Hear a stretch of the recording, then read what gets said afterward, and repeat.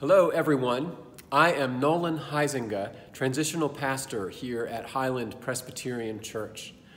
I invite you to our Rally Day Sunday this Sunday. We will start right here at 9:30 a.m. in the sanctuary where you have a chance to learn about our faith formation offerings of classes and events for all ages. And then at 11 o'clock, our Sunday worship is also here in the sanctuary. We will continue that theme of rallying and being transformed into new life by God's Spirit. I hope you can come, and if you can stay afterward for a piece of cake and to say hi, I'd love that. I look forward to meeting you. Welcome to Highland, everyone.